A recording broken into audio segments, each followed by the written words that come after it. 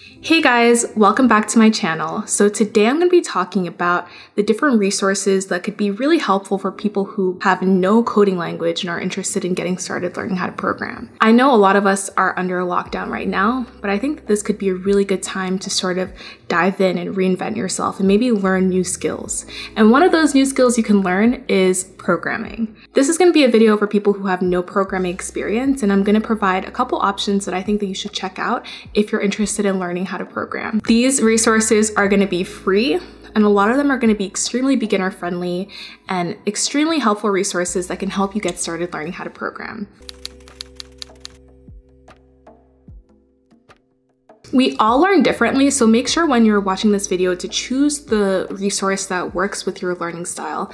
Not everyone learns the same way. We all have different ways of learning, so you wanna make sure you're thinking about your learning style when you decide to choose one of these resources. Also guys, I know you might be watching this video and have also watched like 10 of these videos on where exactly to get started. You've read articles. Don't do that. You don't want to waste your time doing so much research on all the different resources that are available.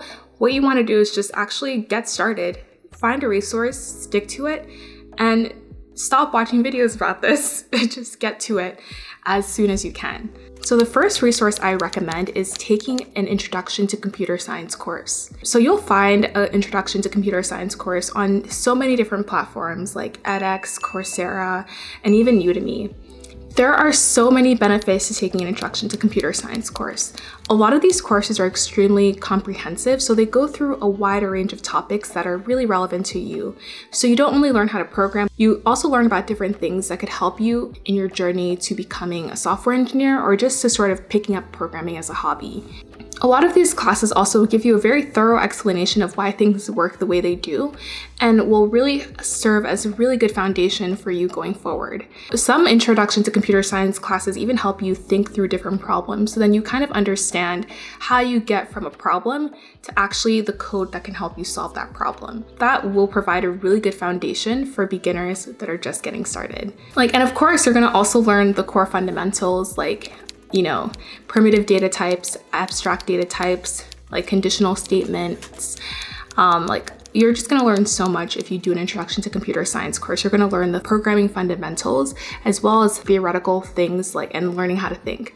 And on top of all those learnings, you're also going to get to actually practice what you learn. So that's another benefit of doing these introduction to computer science courses. But of course, let's be real, doing an introduction to computer science course is not for everyone. A lot of these courses are lecture based and not everyone wants to sit through like an hour long lecture. A lot of people might find it boring. It also takes a very special person who's going to listen through an hour long lecture and then take the initiative and do the projects that are assigned to you, like for the course. Like, not everyone is capable of doing that, and that's okay. There are other alternatives that I will list going forward in this video. Also, like if you're if you choose this um, as an option and you find that it's extremely boring, it's going to be really easy for you to lose motivation and sort of give up. So you want to make sure if you're going to decide to do an introduction to computer science course, like it's going to be a really good match for your learning type and your learning style. And let me be real, like a lot of the courses, introduction to computer science courses I've seen online are extremely intense and they're fast paced. Plus they go for a very long period of time. A lot of these uh, courses are college courses that are based on semester schedules. So some courses are 12 weeks long. And that can be really intimidating for a beginner.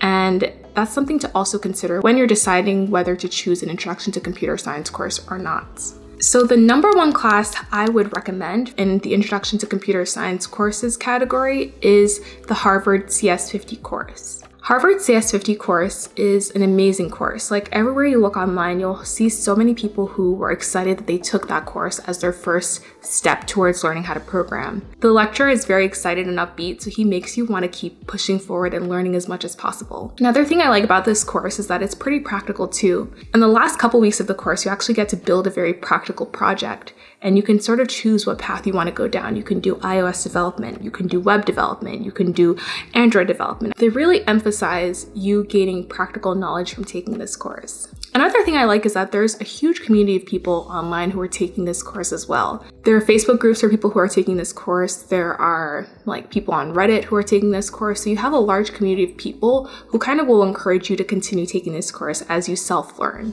Definitely make sure to check out the Harvard CS50 course down below. So the next platform that I would recommend you check out if you're just getting started learning how to program are interactive learning platforms. These are platforms like Free Code Camp, Codecademy, and Udacity. So these are platforms that prioritize interactive learning. So what happens in an interactive learning course is that you get like a little paragraph explaining what the topic you're learning and then you get to immediately code out what you've learned. I think this can be a really great way for beginners to get started learning how to program because you're getting that instant feedback about whether if your code works or if it doesn't work. It's not only gently easing you into learning how to program, but you're also getting that immediate feedback and immediate application of what you've learned. And another benefit is the fact that these platforms really break down topics into very small sections, so it's really easy to understand what you're learning. Plus, like it's very self-paced, so because everything's broken down in small sections, you can kind of move at your own pace.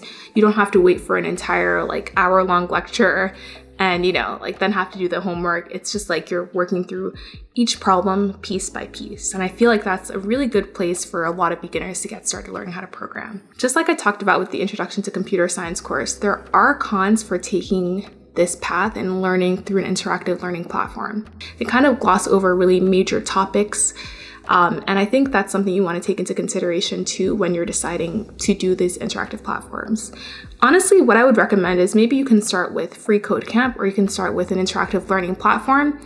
And then once you're done with that, maybe then move on to an introduction to computer science course. Then you're kind of getting the best of both worlds and you're setting yourself up to be a very successful programmer because you're learning the fundamentals and it, you're going to be motivated because you're starting with like a more enjoyable and fun way to get started learning how to program. Another con I want to take into consideration is the fact that with at least free code camp there isn't really an alternative for Python. It seems to be very web development focused. So if you're someone who's actually interested in web development then this is definitely something you want to do, but if you're someone who's more uh, interested in backend or other things like maybe this specific platform might not be the best for you. I hope this was helpful to sort of figure out what resources might be good to get started with when you're learning how to program. If you have any questions, leave them down below. I will do my best to answer them. Also, make sure to like, hit the like button and hit the subscribe button. I put a lot of time and effort in this video and any like and any like comment I get really means a lot to me.